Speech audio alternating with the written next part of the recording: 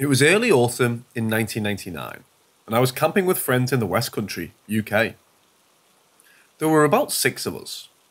We had set up our tents alongside a little stream, but decided that we would walk the mile or so back to the local village and have dinner at the local pub. It was a beautiful evening, roughly 6 pm, still bright daylight and still warm. We were walking down the country lane with hedgerows and pastures beyond them on either side of us. I was walking with my friend Dave, chatting about whatever. We were at the head of the group, with the rest a few metres behind us. Dave is on my left, and as we're walking and talking, we come to a metal gate, also on the left, leading into the field. There's this farmer leaning against the gate with a genial smile on his face. He looks friendly and, to be honest, harmless, maybe in his 50s or 60s. But what struck me most was what he was wearing. He had on rough cotton or maybe woolen dark brown trousers, an old style white cotton shirt, and an old scruffy black waistcoat. He seemed to be staring, and as we draw, he says, Evening. I replied. Dave looks at me and then looks to our left. In the meantime, the farmer has said something about the weather, and I reply that it's perfect for camping. We don't stop walking or slow our already slow pace. I want a few metres away, turn to Dave and say, Did you see what he was wearing? Like it was the 1940s or something. Dave turned to me with a confused look on his face. Who? Who are you just talking to? I turned to gesture to the farmer, but he's not there, and judging by the rest of the group behind us, who were just passing the gate themselves, nobody else saw or interacted with the farmer.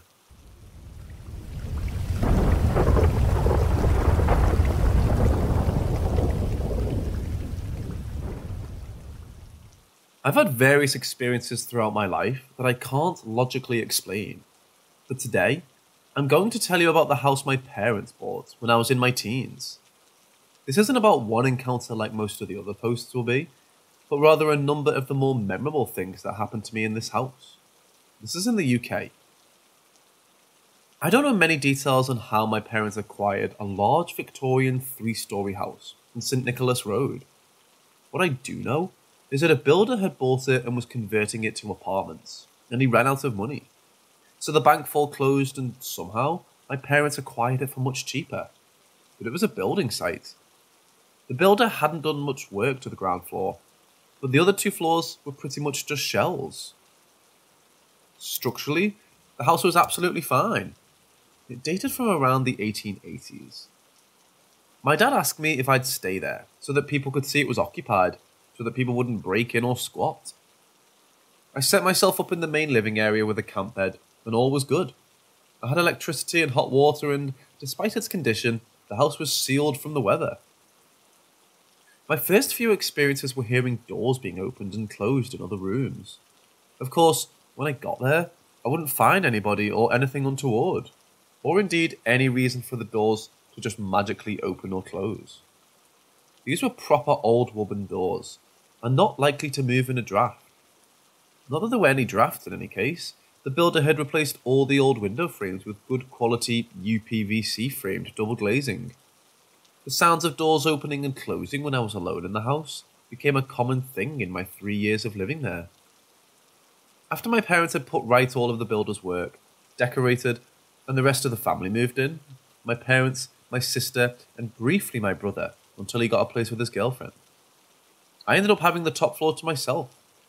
The house had six bedrooms four bedrooms and the family bathroom on the first floor, and two bedrooms and a sort of kitchenette area on the second floor, which was the top floor, my floor. One room faced the street and was a bit noisy due to the traffic outside, and the other overlooked the back of the house and was much quieter. I set myself up in the back bedroom, but would soon be woken regularly by an animal panting next to my head. I found out after a while that the last occupant was an old man who had a German Shepherd dog. Another thing I often heard in that room was creaking wood and a rustling noise, like paper. I figured that someone used to have a creaky wooden chair or a rocking chair and would read the newspaper here. I tried moving to the front bedroom, but the noise of the traffic was too much in the summer with the window open, and having it closed made the room unbearably hot and stuffy. So I soon moved back into the back bedroom and talked to the room about the dog waking me up, and to please try to keep him quiet. I was still woken occasionally by panting noises, but it was a lot less frequently. One of the weirder things that started happening, I actually wasn't aware of until after about two years of living there. It had started slowly and built up over time. It was only when I moved out that I realised what was happening. I started to hear voices, several, like there was a group of people in the room with me, and they were having a conversation or quiet get together. I don't know why, but to this day, whenever I think about this, I picture them in 1930s style, but I've nothing to base this on that I'm aware of. It could be a couple of words, a snatch of conversation, usually male, but not always, and background noise, like glasses chinking, or a record player or similar party style noises, and laughter. I would often just hear good natured laughter with men's voices.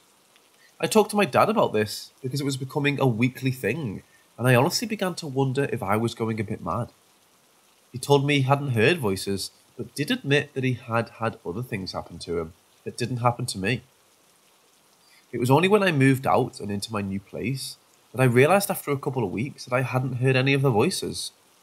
The realisation made me laugh with joy. I Wasn't losing my marbles at all. The ground floor was made up of the two main living areas the large kitchen, the laundry room, and at the very back of the house, a room that had been converted into a shower room and toilet. I have no idea what the room was prior to the conversion. I was in the kitchen one day, I think it was a Saturday, and I clearly heard a young female voice say, The potatoes from the Crescent aren't as good as they used to be. The Crescent is the local high street of the area, about a five minute walk from the house. The voice was clear as crystal and came from the adjoining laundry room.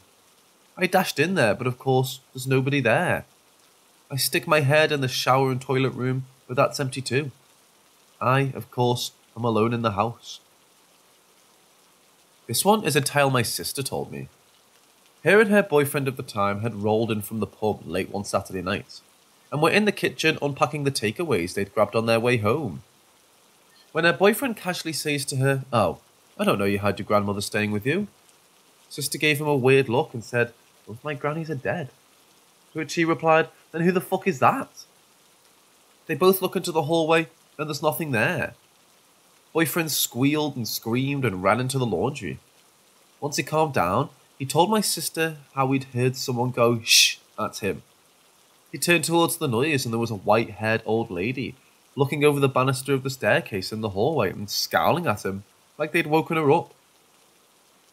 My dad was as much a skeptic of the paranormal as I am, or was, and admitted that a few strange things had happened to him. He told me of when he was preparing food in the kitchen one time and put a utensil he was using down on the countertop, only to reach for it again 20 seconds later, and it had gone. He had looked on the floor and started looking elsewhere, trying to figure out where it had gone. He found it in a mug of water in the sink and knew for a fact that he didn't put it there.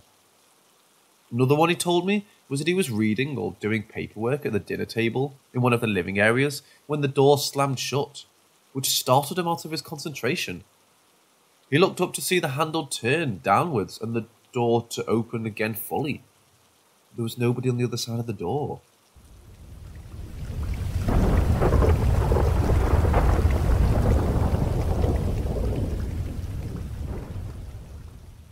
This was back in 2006 and 7 in the UK.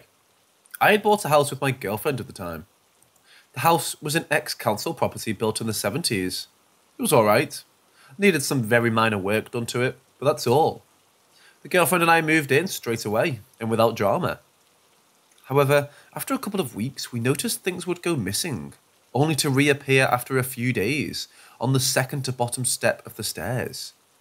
Usually, it was kitchen implements, and I always got the blame, as the girlfriend didn't believe in ghosts. This became the standard state of play for about 12 months. Something would disappear. She'd get the strop at me. I'd quietly ask the house to please return the item because I'm in the shit again. And she withholds sex when she's annoyed at me. Item would reappear a few days later, and then all would be well for a month or six weeks until something else disappears. Rinse and repeat. And then one day, her phone disappeared. This is back in 2006, remember? So mobile phones were nothing like the supercomputers they are now. It was usually in her pocket or her bag, and she couldn't understand where it went. We searched everywhere.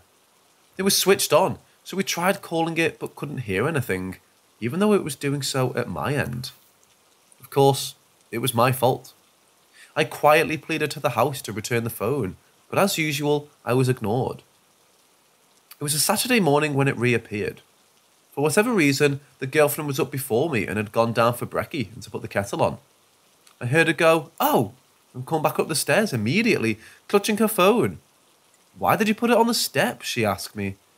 I explained that it's not me doing it. We looked at her phone, full battery. Unusual, it had been missing for five days, and dozens of missed calls from my mobile and her office number. And one outgoing call was made. We tried redialing it, but it was a dead line. It wasn't the last thing to disappear before we sold the house in 2010 but it was definitely the most memorable.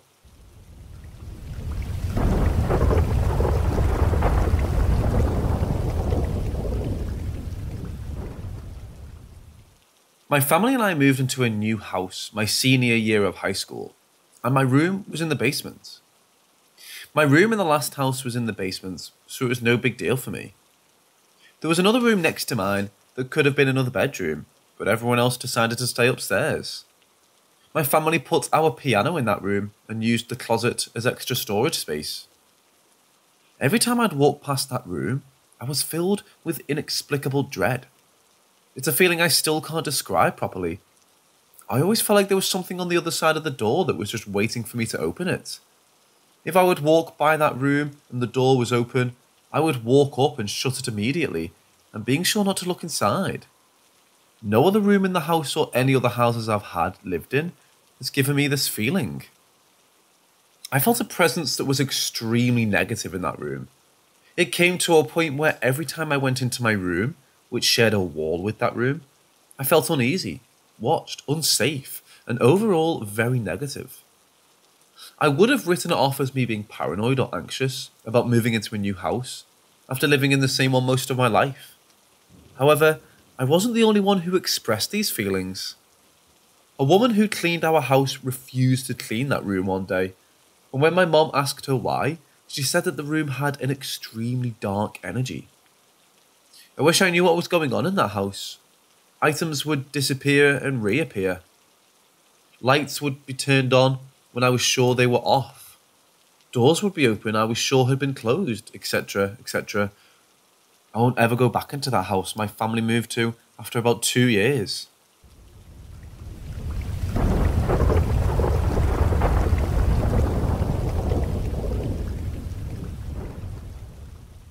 So a little backstory.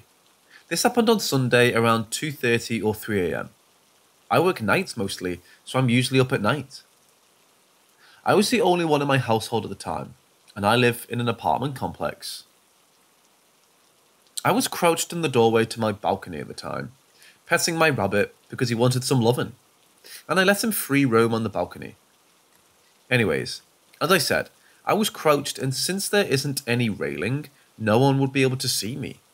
And even if they could, there's a giant tree that covers half my balcony. And the light was off since it was so late at night. That being said, I heard a giggle and then my name being called. It was being called in a coaxing kind of way, like someone trying to get you to come over. I stood and looked around at the other balconies, and then the ground floor, and didn't see a single person. I then thought I might have called someone by accident because the voice almost sounded like a friend of mine, and I had just plugged in my phone. So I closed the door and checked, but I hadn't. The moment I closed the door, I heard the voice say my name one last time in an angry tone, and then silence. Thankfully, I haven't heard it since, and I told my sister, who then sprinkled salt in the doorways, and told whatever it was that it wasn't welcome in the morning. In case it was a spirit, I guess. I really can't explain it. I've had a lot of paranormal like experiences in my life, including always feeling like someone's watching me at night, and hearing noises when I'm home alone since I was young but I've never outright heard my name being called like that.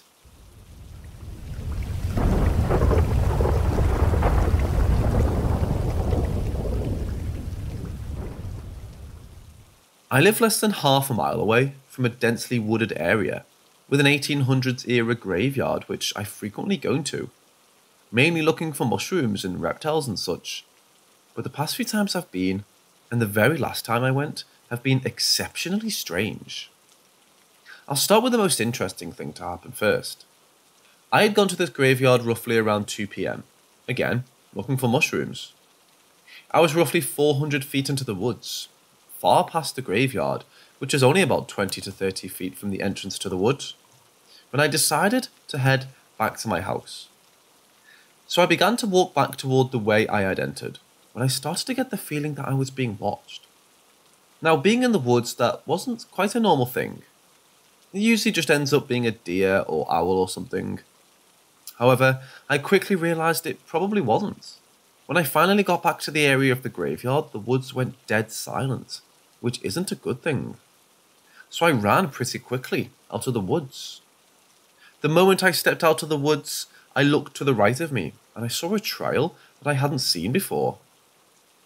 So I decided to, quite stupidly, go into the trail to see what was back there, and there wasn't much. Just rusted cans and trash everywhere. I had stood back in this area where the short trail took me when I heard a very strange sound. It sounded almost like a frog, but very high pitched and almost tonal, like someone singing. That made the hair stand up on the back of my neck. At this point, I sprinted out of the woods until I was nearly back to my neighbourhood when I looked back. And when I did, there were three small orbs that seemed to stare back at me. At that moment, I just said to myself, oh, fuck this, and ran as fast as I could back into my neighbourhood. The only other strange thing to happen back there is the Sasquatch trees, which are bent over trees that I know for certain that no human could have bent. The trees back there are over 20 feet in height and quite sturdy. And the time where I was back in the graveyard with my mother, and we both heard a distinctive whoop, like the stereotypical sounds you hear on the Bigfoot documentaries. It was really quite strange.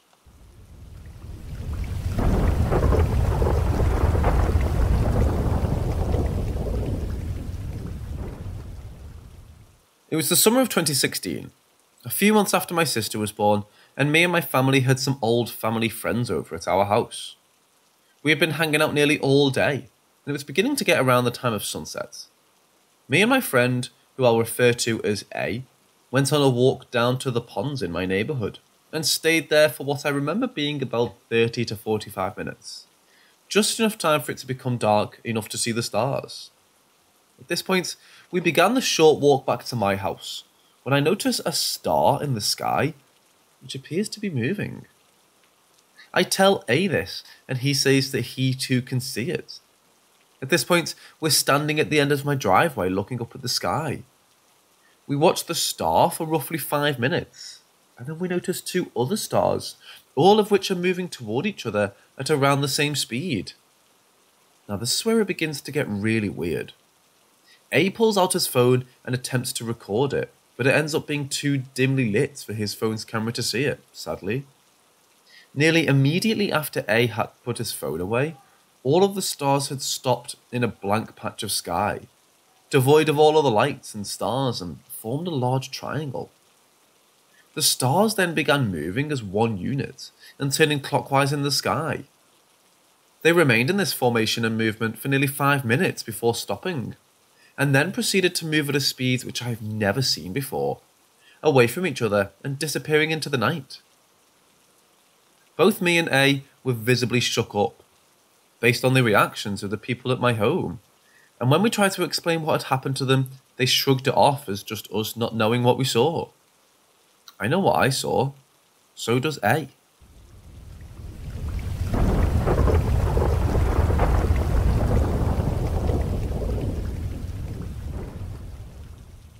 A pitch black humanoid figure, wearing neat clothes and hair by the seams.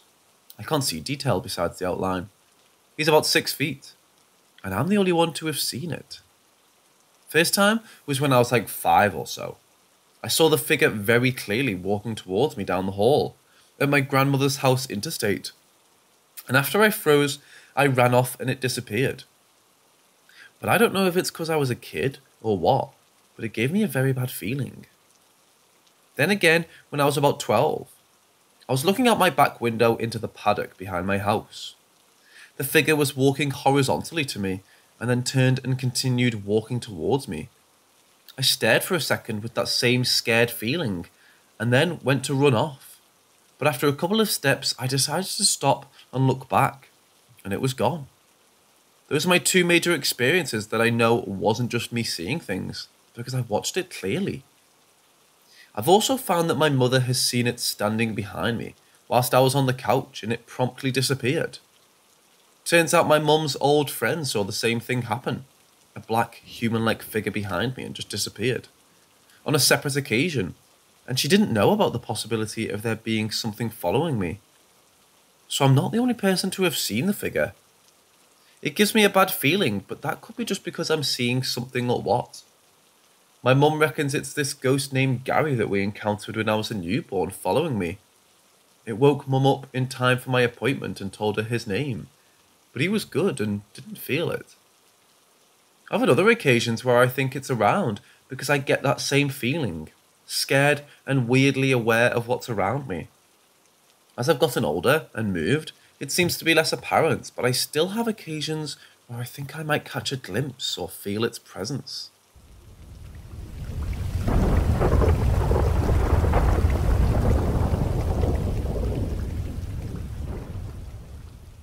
I don't know if, like me, you have a big family. My nan had eight children, and she herself had many siblings, one of which was my great Uncle P. Uncle P was my mum's favourite uncle. By now he was in his 90s, but happy and living life to the full still. I'd met him as a child, of course, but living in different cities meant that as I grew up, I heard a lot about him, but never actually saw him. Mum said that Uncle P always asked about me. He wasn't too bothered about the others, because I think I was always fascinated by him, and when he called my mum, I would always butt in to say hi and ask after him. Sadly, he recently passed away. But the months leading up to his sudden death, I had a heavy feeling. Me and Mum would talk about going to see him. Work, etc., always got in the way. But I felt very strongly about needing to meet him as an adult, so we made the trip. Previously, we had tried to meet up with him, but things always got in the way, like his illness or just last minute cancellations. He opened the door and straight away pulled me into a hug, saying this is the one I've been waiting for. We spent the next few hours laughing and talking about his life and our joint interest in the paranormal. He told me many of his own stories and encounters, including the significance of white feathers. As I left, he had light tears in his eyes and he said to me, You were exactly as I hoped you would be, and more.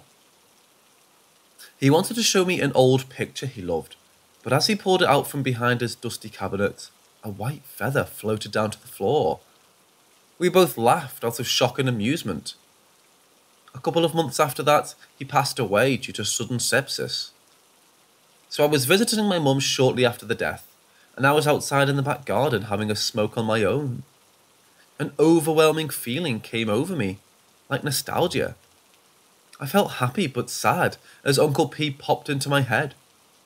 I went back inside and closed the door, but froze. There it was a white feather stuck on the door handle. Let me tell you now, it was not there before I walked out. Trust me, I would have noticed. You couldn't miss it. And my mum would never have stuck it there.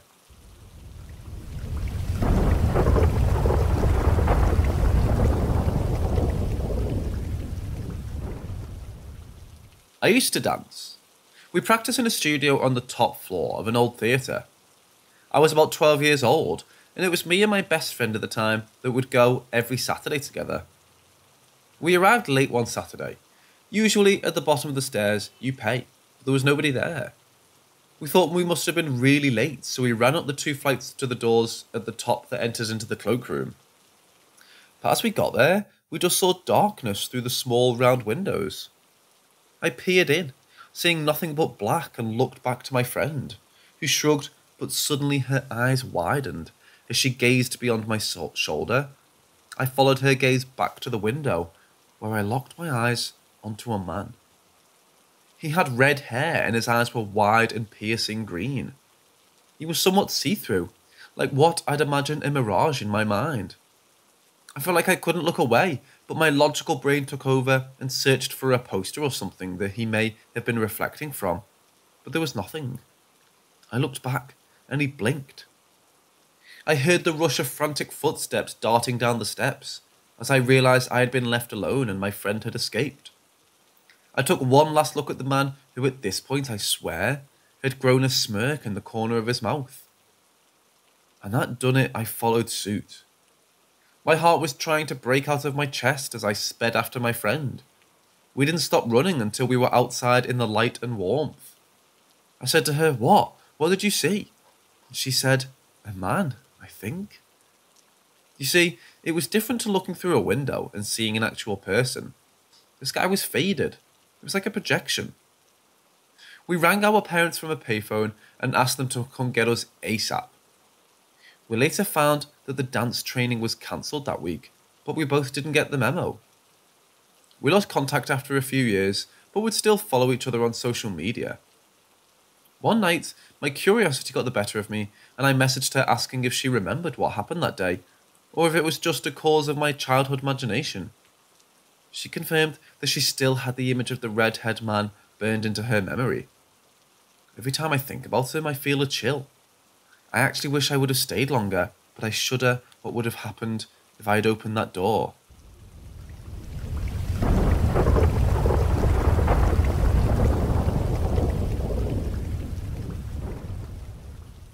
Since I was 11, I used to hang out with my little sister N and my childhood best friend M in this abandoned manor. Our parents didn't want us to go there because it's said that the place is used for satanic rituals. I didn't believe in the existence of Satan and things like that, so we kept going to the manor. At 12, I started to feel depressed. Long story short, I was severely bullied, and my parents were in continuous fights. I hated being home, and I started to go to the manor alone or just with Vicky, my female Doberman. That place started feeling like home, and I started to study there, to draw or simply relax while the dog explored the little wood that still surrounds the manor and the castle nearby. Before believing in the paranormal, in that manor I experienced things. These two are the more interesting. In the manor's hall there's a chair. Sometimes we sat down at the main entrance, with the chair on the other side of the wall. And a moment later, it was near us. I never got scared, and knowing that we weren't the only kids going there, I thought that the chair was already near us, and we were so used to seeing it on the other side of the room that we just didn't acknowledge it sooner. Nothing paranormal, right? Even when we clearly saw the chair in one place, and a moment later it was near us, I kept believing in the it was already there, we didn't see it thing. I often heard a woman crying. Being a skeptic, I used to think I was imagining it, but a few times N and M heard it too. I always left the place with them because I was the older. I thought it was some human stranger, and I wanted N and M to be safe. Even alone, I heard the cry, and my dog always tried to go towards the chair, waggling his tiny tail and basically doing the same she used to do when I cried. I kept believing in the presence of a homeless or just weird woman and went home for safety. After a while, I just ignored the cry and stayed in the manor. I started to believe it when I was 13 or 14 years old. I was at the manor with Vicky and I heard three knocks on the third floor. The place is surrounded by trees, so I thought about some animal dropping or something. There were a lot of squirrels, and it was a possible explanation. After a few minutes, three knocks on the second floor, nearer. It kept going like this, and the knocks were coming towards me. My dog started growling aggressively. I know I should have run away, but I was curious and stayed there until the knocks were coming by my side. Only then I ran away after doing my research and learning that three knocks mean that a demon is being disrespectful towards the Holy Trinity. Well, even as an atheist, I didn't go to the manor for almost a year. After that day, I started to notice more things weird noises, objects moving. 90% of the time, I explained it logically, But I was unable to rationalize the things that started to happen when I was 15, and I just restarted to go to the manor. Always with someone and never inside the manor now. Me, M, and N started to see something weird in my garden. It was like a black human silhouette. My father saw it too. I stopped my visits to the manor once again when I saw that figure in my home. Sulphur smells in the bedroom. Something knocked inside my sister's side of our wardrobe, giving her nightmares. We share a room to this day, and she said the noises stopped when I was away from home. Now something knocks over my clothes and knocks inside my side of the wardrobe. We have 13 cats, but every time I hear something, I never find a cat inside the wardrobe. Me and other people saw a young woman crying at the window of the manor before vanishing into thin air. Something chased me the first and only time I visited the manor alone, at 18 years old. I once created a story on that manor. I always felt a female presence. I call her Elise. Near the chair and a male presence. I call him Lord. In one room. So I wrote a story about a young woman who was married to a traveller. They loved each other so much that she killed herself when he was murdered while travelling to Germany. My mother told me that it's what happened to a couple that lived in the manor decades ago. I'd never heard that story before. My friend Jay saw the crying woman while visiting the manor with friends. They begged me to come there because I know the place like the back of my hand, and I found them scared as hell. I told them not to enter the Lord's room, and one of them never listened. I'm able to enter the room without problems, but strangers always feel bad or sick. This guy vomited and had a bad fever shortly after being in the room. I started feeling really affectionate toward the crying woman. I feel like crying whenever I think about her, and my sister said to me this morning that she saw a woman sitting on my bed. I never told her that I feel someone sitting on my bed at night because I always thought I was imagining it. I don't know what to do, people. I don't know what logical explanation I could give to those things and what to do in general. I feel like I should help Elise and my friend Jay. She's a sensitive and a green witch. And to me, and said to me that the tarot said that there's a ghost who needs company. Do you have some advice? Some logical explanation? Should I just believe?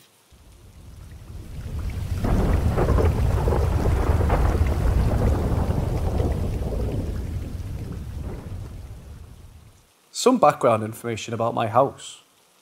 My house is over 100 years old. As a kid, I was also so scared and afraid of the dark.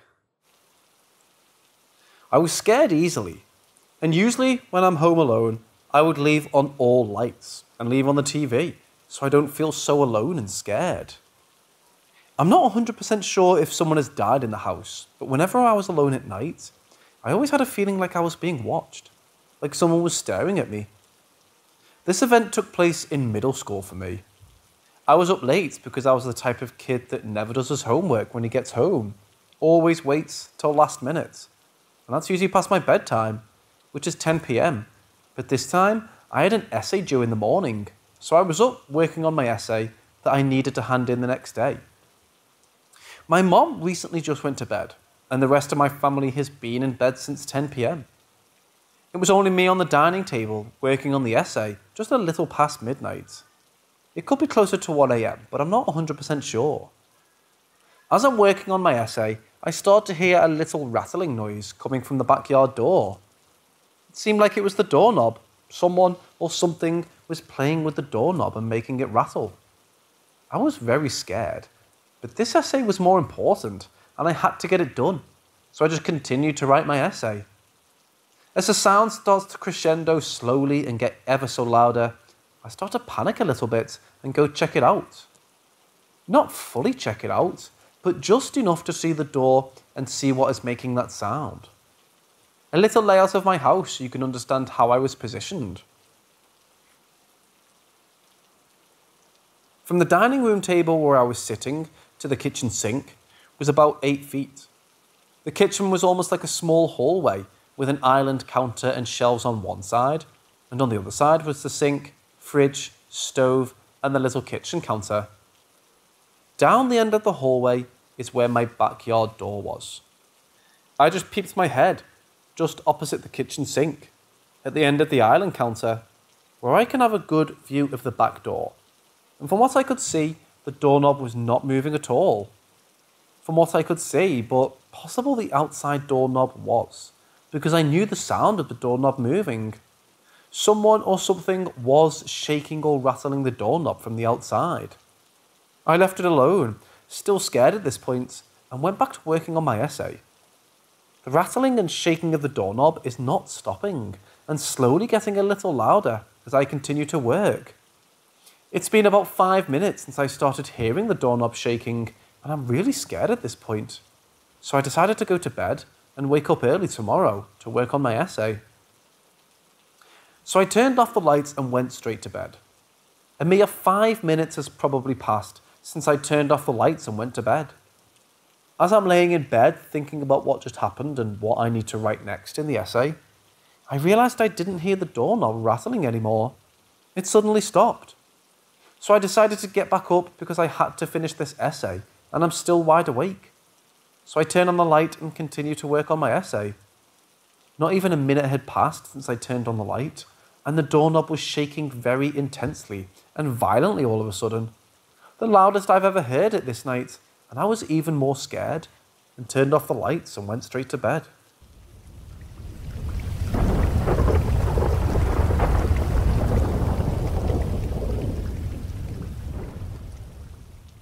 I live in the UK and come from a town that was first settled by Romans for context. It's a very historical area. When I was a child, I lived in a house built in the early 1800s. The whole street was built to house the fishermen of the time. Before that, I understood it was farmland. It was from four years of age I would start getting these dreams of someone in a wheelchair, deformed and tormenting me. It was a nightly occurrence and made me cry and shriek for my brother. It soon ended after a couple of years. However, this is when I started to see things whilst I was awake, and one of them really did make me freeze every time without fail. It started while I was lying in my bottom bunk bed, and I would turn over and look and see on the other side of the room two cat heads fighting to get past each other near the bookshelf. This happened often, and I just shrugged it off eventually. But one night, I'll never forget the first time. I saw a lady lying on my bedroom floor, right near that same bookshelf. Absolutely motionless. No movements, nothing. I was too scared to move the first few times I encountered her. I eventually plucked the courage to stand up and properly look. She looked weathered, wearing a drab and beaten looking dress robe and hair wild and untamed. I could make out much of the face, but it just looked empty.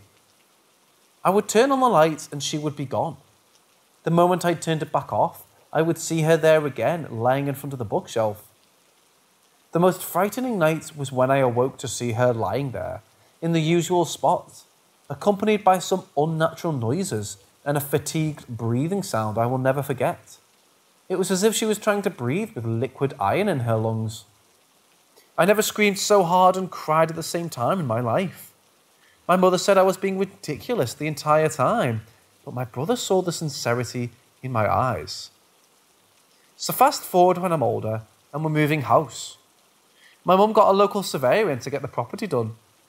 Anyway, he came up to my room whilst I was boxing up and we started chatting. I then joked about how I would see that lady and sometimes the cat near the bookshelves. He then jokes, Oh, you do realise there's a fireplace built in the wall where your bookcase is, right? I said, Okay, and? He looked at me a bit dumbfounded for a bit and changed the subject. I then asked why he mentioned the fireplace, and he stopped. He told me not to be alarmed and not to take it to heart, and even said he doesn't believe in ghosts or anything, but continued that in the late 1800s, someone in one of the houses on the street had locked up a relative. I'm very vague on this part because I can't quite remember the conversation due to the sheer fright and fear going through me at the time, in their room, and left them to starve after they went mad. Allegedly, the woman lit the fire and died from smoke inhalation. Apparently, someone in a wheelchair had died in the house prior to us moving in as well. I have no clue if any of that was true. I could only find a few references in local papers from archives about or obituaries, in the area, but nothing about causes of death, etc. But it's just always been in my head.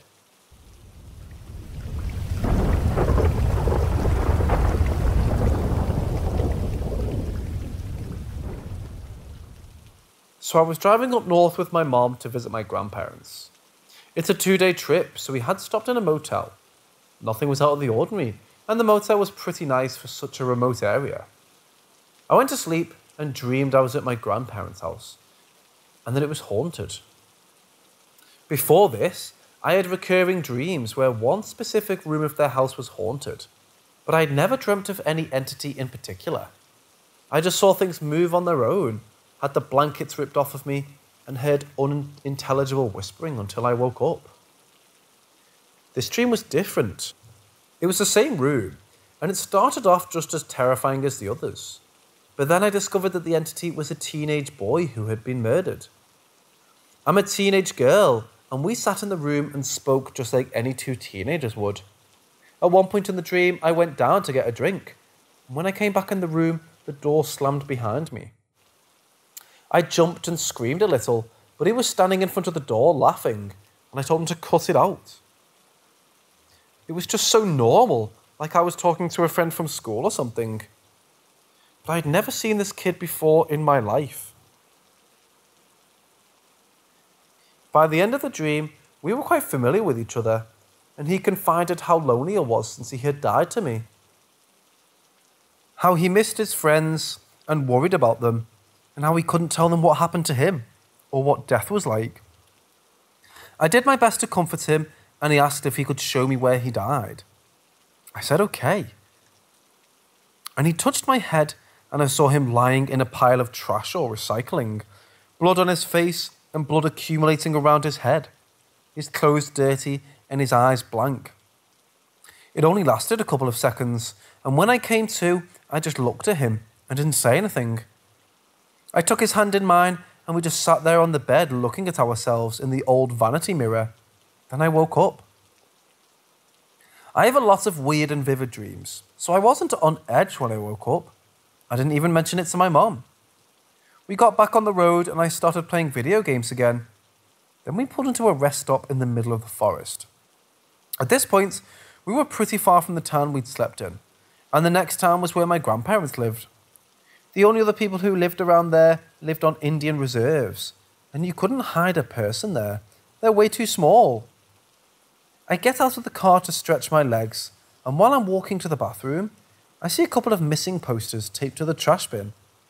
And there he is. Roughly the same age, same hair, same clothes, same fucking name.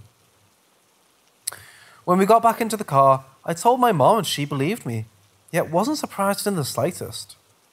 She had always believed strongly in the paranormal and had told me lots of stories from her life. Once her house had been robbed when she was a young girl, and as soon as she walked in, she went upstairs straight to where the robber had left his watch. My mom also does this thing where every month or so, she'll stop whatever we're doing, cover her eyes with her hands, and tell me she's dreamt the moments we're in now. She told me in the car that every woman in her family has had strange things like this happen to them, and it usually comes about in teenagerhood. I'm 16. I don't know if I really believe her. I mean, I believe what's happened to her and my grandma and all my aunts, but I don't know. I didn't think it could actually happen to me. I've recently asked her about a dream I had when I was around three or four, and she told me it wasn't a dream, that it actually happened. And then I asked my sister separately, and she told me the same thing. I was sitting on my sister's bed, and she was holding a stack of Go Fish cards face down, and I was guessing what they were, and every time I got it right, before she flipped them over, my mom was sitting in a chair watching us. She was very calm, and that's why I thought it was a dream. Also, you know, that shit's impossible. But considering what my mom said, it makes sense she wouldn't be surprised.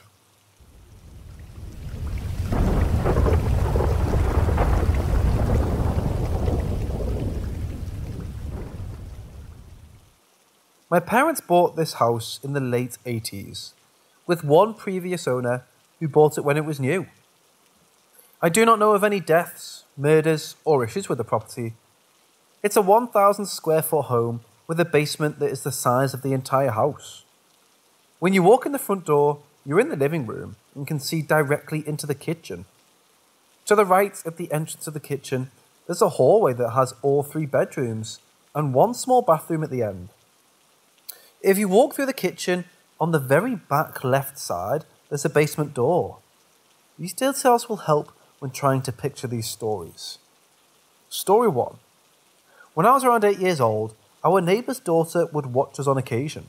We'll call her Kelly. She was 16 or 17 at the time. I have a younger brother who's three years younger than me. We were all in the living room playing hide and seek when we heard this ringing coming from the basement. The ringing sounded like a phone. It was like one of those old phones that would make a ton of noise and had a rotary dial.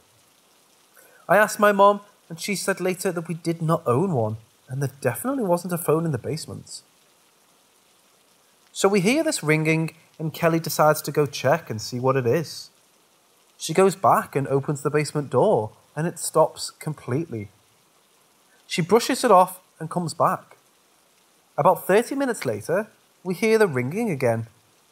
We listened to her for five minutes or so to make sure we weren't nuts. She went to the basement door, again, bless her, and it stopped as soon as she opened the door. She started to panic a little, but tried to play it off to not scare us.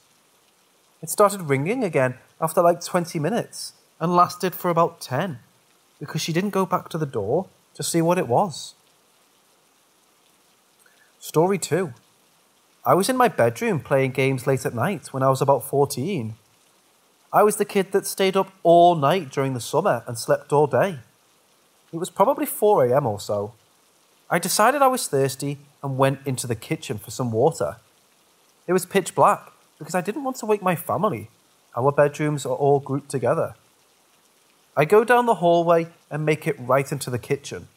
And all of a sudden, I smell this strong baby powder smell. It was like someone had dumped it on me. I paused for a second to be sure I wasn't imagining it.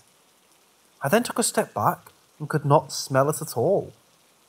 I then took the step forward again, and the smell hit me so hard it scared me to death. I ran as fast as I could back to my room. The next morning, I asked my mom if anyone she ever knew smelled like baby powder, and she said my great grandmother always smelled like it. Her words, like she had poured it on herself every morning. Really freaky. Story 3. This was the most intense of all experiences I've ever uh, had. I was a little older, 17 or so at the time. I was alone at home. Background info We had an air hockey table that had a broken on off switch, so in order to use it, you had to plug it in manually every time. My mom was very particular about the air hockey table looking neat when we were done, so we put all the pucks on the ends neatly. There's a vent in the bathroom that leads directly to the basement, so you can hear everything. Anyways, I was in the bathroom brushing my teeth when I hear the clack, clack, clack of the pucks hitting the side of the table and the air running on it. It was pretty loud when on. I was like, what? And went to the basement door to look down. You could see directly to the table from the top of the steps. It was on, plugged in, and the pucks were all over the place. I called out to my brother, who didn't answer because I was alone, thinking maybe he came home early. No response. I thought maybe he left it on and went downstairs to fix it. I unplugged it, wrapped the cord around my leg, and placed the pucks back because my mum would have been upset. I go back upstairs and mind my business for like an hour when I have to use the restroom. I go in there, sit, and hear the table going through the vent again. I could hear clearly that the pucks were moving. I'll never forget that. Now I'm pretty freaked. I slink back to the basement door and open it, flip the light on. The table is plugged in and running, and everything is out of place again. Bro. I go down again. I am stupid, what is wrong with me? And fix it all. I come back up, go to my room for like 10 minutes, go to the bathroom to see if I could hear it, and it's going again. I didn't go back down there until the next day. I got in trouble for leaving it on all night.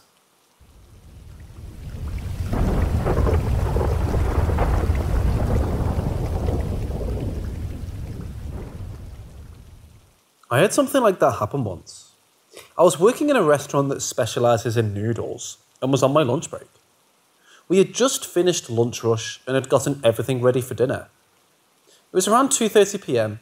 and I was sitting at the bar facing the front, eating lunch, and the cook came over and sat with me. About 10 minutes later, as both of us were sitting there, my boss came running from the back of the restaurant out to where we were eating. She went through the dining room and then came over to the cook and I. She asked where the customer was. We both looked at each other and then said no one has been in for 20 minutes.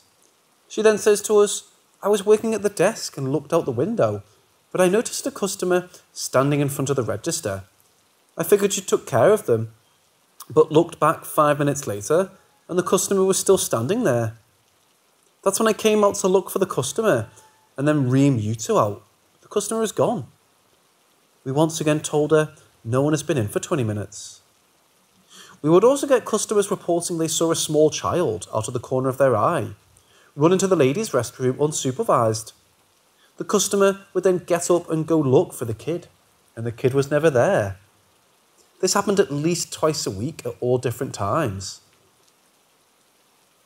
The street in front of the restaurant was getting repaved at night, so there was a construction crew outside from 10 pm to 6 am. After about a week of construction, a crew member came into the restaurant to ask what our hours are. I told him 11 am to 9 pm, Sunday through Thursday, and 11 am to 10 pm Friday and Saturday night. He said, That's what I thought. But you have people in your restaurants at 2 am. I said we should not, and he was sure he noticed them twice last week. I asked the gentleman if he could wait for five minutes as I went to the back to check the security tape. Lo and behold, no one on the tape at 2 am. I showed the gentleman the tape. After he watched it, he did the sign of the cross and ran out the restaurant.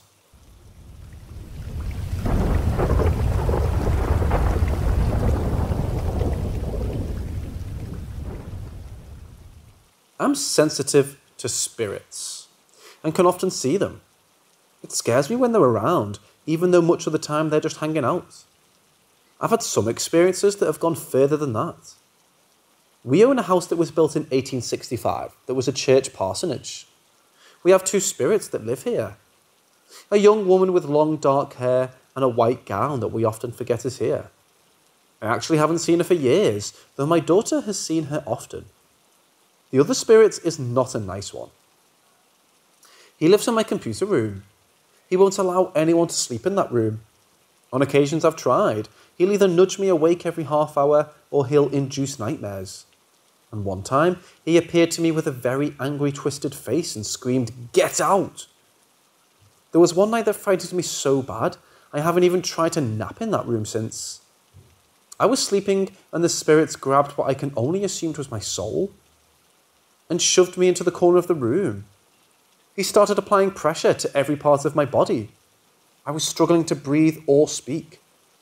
Every time I tried to say something, he'd apply more pressure. It was really starting to hurt. As I struggled against him, he applied more pressure, and I pictured my mother. I wanted to call out to her no matter how much effort it took. I opened my mouth and I managed to speak out, Grandma. Ah, that wasn't what I wanted to say, but it's what came out. And the moment I said the last syllable, I was wide awake on the bed, gasping for breath, my lungs and body hurting. I left the room and didn't go back in there. I believe my grandmother, who died eight years ago, saved me. I know some may say I was sleeping, having a nightmare, sleep paralysis, or whatever, but I know otherwise because of other experiences I've had with this spirit. I've seen him several times when I'm wide awake and just working on my computer. Even my children have seen him. That isn't what this thread is about, though. I used to think all pets, especially cats, could see spirits. This past weekend, I learned only one of my five cats can see them. His name is Marley. I work the night shift, and he's often in the living room with me. Sometimes he'll stop whatever he's doing to stare intently at something. Sometimes it's a bug, and I can tell because his eyes will dart all over the place. But when he stares at one spot without moving, I know it's a spirit. I typically don't worry about it too much, and I don't open up my awareness to them because I don't want to know they're really there. But this past weekend was one that freaked me out because my cat was scared. He was doing that staring thing, but his tail was puffed up four times its normal size. I thought he was looking at a moving paper or something in my husband's computer room. So I closed the door, but my cat didn't stop, and he was still staring at the same spot, in front of my husband's computer room. I shared videos of it with a friend who told me to pick him up and bring him to where he was looking. When I tried that, my cat hissed and clawed me to get down. I was very out of character for him. He continued to stare in that one spot. Then whatever he was looking at must have moved down the hall. I wanted to know what was there, so I shielded myself and reached out with my awareness. And I saw a tall, pale man in a black trench coat standing in front of the entrance to our home at the end of the hall, unmoving and just watching me. Half of me think it's my imagination, but the other half knows better. My friend told me I should ask him to leave. I just wanted to leave it alone and let it be on its way in its own time.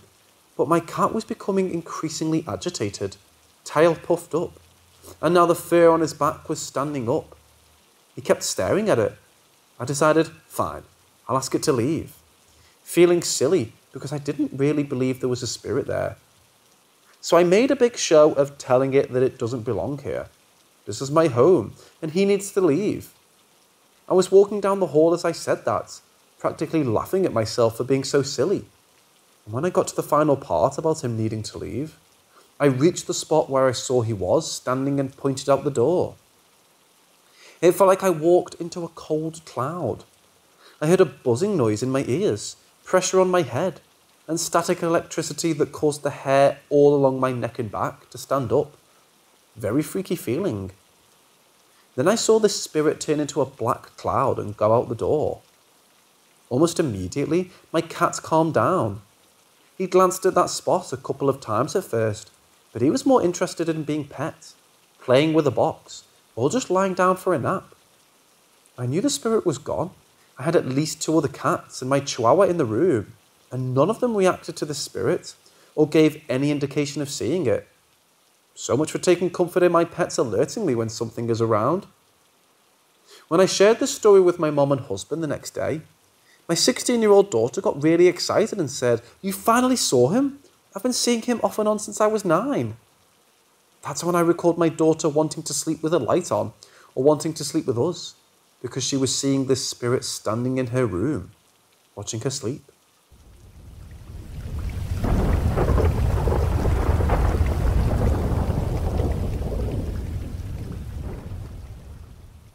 I had a very strange dream one night when I was living in Colorado. In the dream, I was sitting on my bed back home in Guam. I was humming and reading a book to myself, something I do almost every day. After a few minutes, I decided that I wanted to go to my parents' room. I got off the bed and walked across the end of the hallway with heavy footsteps to my parents' bedroom door. As usual, the door was closed. I wrapped my right hand around the doorknob and tried to turn it. It was locked. For some reason, I really wanted to enter their room. I turned the doorknob back and forth, but it wouldn't budge. My stubborn dream self was not accepting that the door was locked. I placed my left hand over my right hand and shook the door with all my strength. It still didn't open. I gave up after a few seconds, released my tight grip from the doorknob, and clumsily walked down the hallway towards the kitchen. I don't remember ever reaching the kitchen before waking up. I looked at my alarm clock. It was five o'clock in the morning. I went back to sleep. I was on the phone with my parents the following evening, Colorado time, when they told me about a strange experience they had the night before, Guam time. They were watching TV. The aircon was on in their bedroom, so they made sure to close the door. My mom quickly moved to the TV as she heard a strange noise coming from my bedroom. My parents are empty nesters, so there should not be anyone in the house but them. Then they heard heavy footsteps walk out of my bedroom, across the hallway, and towards their door. The doorknob began to slowly turn on its own. There was a brief pause before it turned again a few more times. All of a sudden, the door began to shake violently. The shaking ceased after several seconds. The heavy footsteps moved from the other side of their door, down the hall, and towards the kitchen. When did this happen? I asked, as my heart began to race and my breath became shallow. This was around 10 last night, my mom replied. 10 pm in Guam would have been 5 am in Colorado.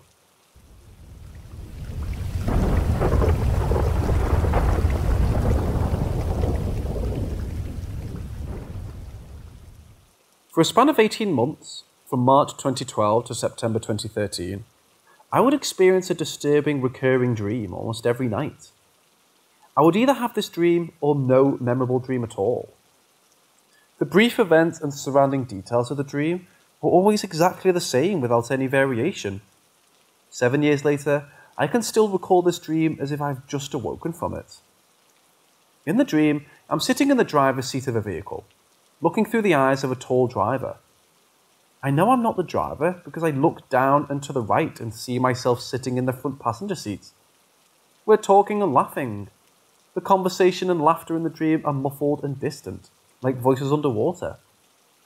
Through the eyes of the driver, I look past myself in the passenger seat, through the front passenger window, and see a mass approaching at high velocity. The colour and shape of the mass are indeterminate, shifting and flowing through a spectrum of light and space that my mind cannot comprehend. The mass is quickly becoming larger and larger. Suddenly and violently, the mass collides with the front passenger side of the vehicle. This immense kinetic energy surges through my body, as if the convulsions of a massive earthquake have been condensed into a single moment, encasing me and penetrating me. Glass implodes from multiple directions like a bomb. The barrier constructed from protection transforms into a sea of shrapnel, sending thousands of tiny sharp teeth to bite and tear and rip and stab at every inch of my skin. The metal frame of the vehicle begins to collapse and rotate, as if it's nothing more than paper to be crumbled and tossed away. The space around me is becoming smaller and whirling faster, like the motion of an endless roller coaster. My eyes never close, and I never look away from the passenger seat. I see myself lurch forward as, as if I weigh less than air. My face collides with the dashboard, the airbag never deploys. I woke up. For 18 months, I've had this dream. For 18 months, I become more stressed and more anxious. I see the dream when I sleep. I see the dream when I'm awake. I couldn't be in the front passenger seat of any vehicle without feeling my blood pressure rise. It gets to the point where I'm even scared to fall asleep for fear of seeing the event of the dream. In September 2013, I had the dream for the last time. One day passes, one week passes, one month passes. I still do not have the dream. I do not even question this because I'm so happy to be able to sleep again and not feel fear anytime I'm in a vehicle. I feel that long, strange, and terrible period is finally past me. Two months later, on a beautiful day in November 2013, I was working at the visitor centre of the National Wildlife Refuge where I had been employed for a little over two years. It's a slow day at work and not many people are coming into the building. The tropical beach is far more interesting than our display murals and informational plaques. I take advantage of this slowness and spend my time reading. Mid morning arrives and I hear the chime of the front door ring as soft footsteps enter the visitor centre. I look up from my book and see a young couple who seem to be in their early to mid 30s. I greet them, but they don't notice me in the distance. I return my gaze to my book as their attention is drawn to our murals and plaques. Some time passes before I hear a soft, feminine voice politely say, Excuse me, from the opposite side of the court, counter.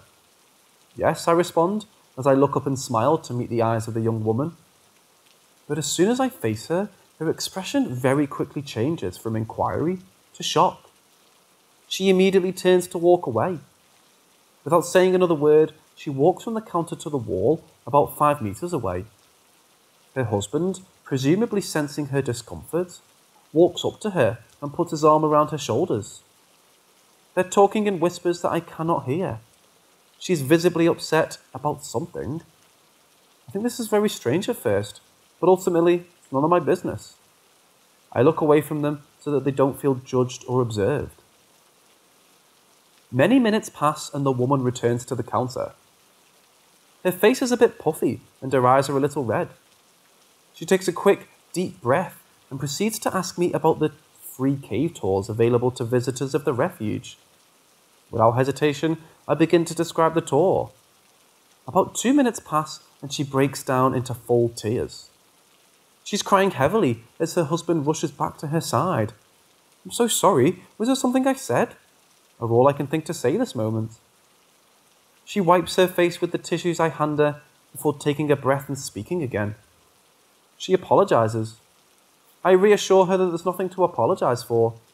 What she shares with me is something that will stick with me for the rest of my life.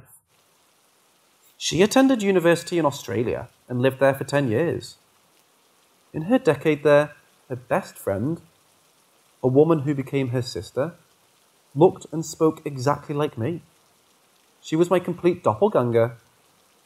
Two months earlier, in September 2013, her best friend was involved in a major car accident. Another driver had hit her friend's side of the vehicle. The airbag never deployed and she died instantly. My heart begins to race and every ounce of air seems to empty from my lungs. After some time and comforting from her husband, the woman asks if they can go on the cave tour. Of course, I responded. We go on our tour and return to the visitor centre over an hour later. The woman tells me of their plans for the rest of their trip. After a brief silence, she reaches out and gives me a deep hug. Goodbye, goodbye, goodbye, she keeps, repeating slowly in a soft, forlorn whisper as she holds me in a warm embrace. I'm not the hugging type of person, but I realize that it's not me she's reaching out for. I let her stay there for as long as needed, returning her hug. After a while, she lets go. She doesn't look at my face as she turns and walks away. The woman and her husband take each other's hand and walk out the door. I never saw them again.